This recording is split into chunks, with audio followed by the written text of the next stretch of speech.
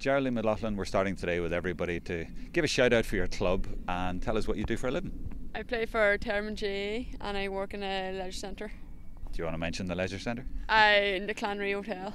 All right, as in the sponsors on the Donegal jersey, okay. And what would you say to supporters from Termon and indeed all over Donegal about coming down to this game? It's a long journey, but it'll be worth it. Yeah, like I hear there's a lot. There's a lot of coaches coming down from Donegal, but I just encourage more people. Like um, the promotion of like ladies football is great and like you're guaranteed probably a good game and plenty of scores. Like we're not like the men's that maybe maybe as defensive like but you're guaranteed good scores and plenty of them. And you know what this venue's like to it creates a great atmosphere here? Oh yeah definitely. And the bigger crowd the better the game's gonna be. And like when you like even when you hear like if a girl gets a block in like the crowd gets behind the team and it's all about who gets the biggest crowd nearly too like. What has happened for Donegal to come up in the space of 12 months to be in the Division 2 final here last year to be in the Division 1 final this year. What's made that happen?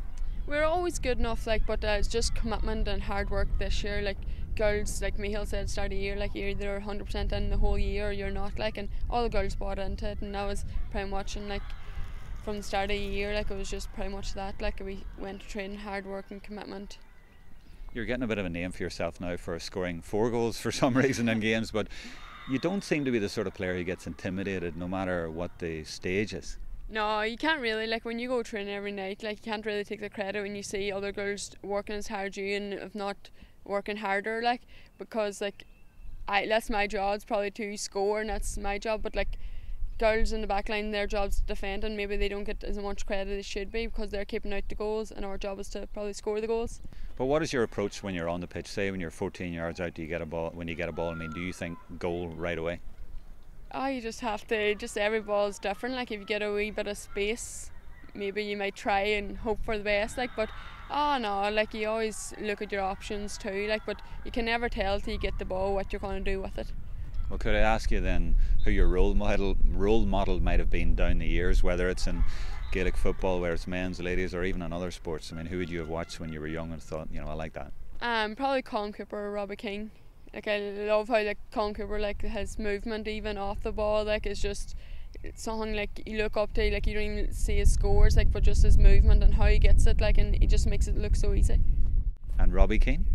Oh yeah, like um, when we were in back garden when we were younger, that's all we done is probably soccer more than Gaelic and I and when probably World Cup was on that time and we were all watching. So. And just finally, I suppose I should go back to how important this game is for Donegal and the buzz that's being created, obviously, from being in the very first final. Yeah, it's massive. Like being in Division One final, like something you dreamt of. Like, and we're playing Cork. Like, and when I was younger, I was always looking up to them, thinking like, be class to be playing them even. But like to be playing them in the final, to be the high standard of where they're playing, like it's just something you dreamt of since you were a child.